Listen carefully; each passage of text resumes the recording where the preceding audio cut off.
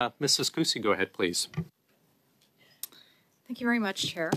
Uh, I'm going to go back, uh, Monsieur Giroux, um, following a line of questioning my colleague had around the deficit spending. Um, this year's spending has increased to 493.7 billion, which is an increase of 50.4 billion. Uh, you state in your economic outlook that the deficit is projected to resume its downward trajectory if there are no, are no new measures and existing measures sunset. But as I indicated in my first round, this is not consistent with the government spending patterns. Based on this government's record and the fact that new measures are already being introduced, do you expect this to be accurate? So, my colleague had asked you what is the area of uh, spending which is of most concerning to you. Do you believe that um, your the the deficit projected projected to resume its downward trajectory um, is is possible is is accurate based upon your comments.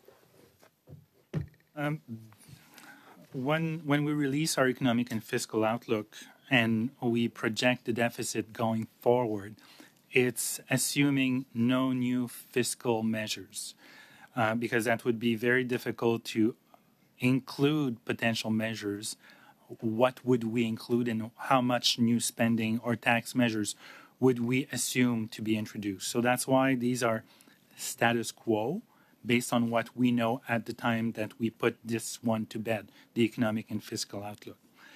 However, what we have seen in the past is whenever the government tables an economic a budget or a fall statement, the track for spending tends to go upwards which is a policy choice. So, do I am I certain that the fiscal track we released in the fiscal outlook will be the one that materializes? I don't think it will happen because the government will introduce new measures, which is why governments get elected. Uh, but historically, we will change that as the conservative government. But the government has also indicated that, or the Minister of Finance rather, indicated that she wants the deficit in 26 27 to be at most 1% of GDP. And by our estimate, status quo would suggest it will be at 0.8% of GDP. So that suggests there's not that much room for maneuvering in that fiscal year if the government wants to maintain 1% um, the deficit at 1% of GDP in 2026 27 without increasing taxes.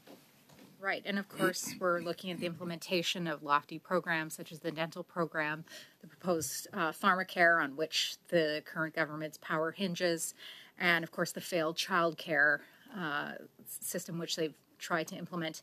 Um, Going back to my uh, colleague, uh, Mr. Genuis's uh, comments about the IT middlemen, um, we know that there's been a reduction of 49 full time equivalents in the procurement department at a time when we are trying to uh, eliminate the middlemen due to the incredible bloated costs we see with the ArriveCAN scandal. Uh, but these 49 positions are a result of these uh, positions not being filled when they become vacant. Um, is, is this a trend that's occurring in other departments and agencies as, as well that you're seeing? Um, no. Uh, so I'm not aware of that particular instance of a reduction in FTEs.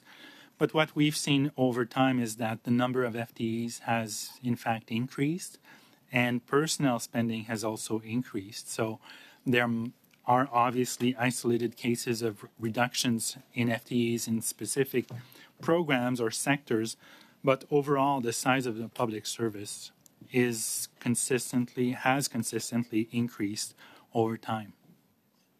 Right, and to that point, um, spending on public service personnel has increased to 67.4 billion, which is up from the 63.3 billion spent last year. Are you aware if that increase is due to staffing levels or to salary increases? It's a combination of both, uh, both an increase in the number of FTEs.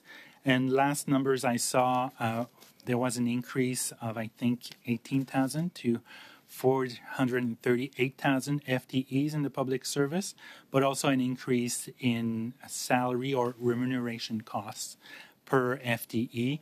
And the last number I saw was 125,000 and a few hundred dollars in personal costs per employee, per full time equivalent. Thank you very much.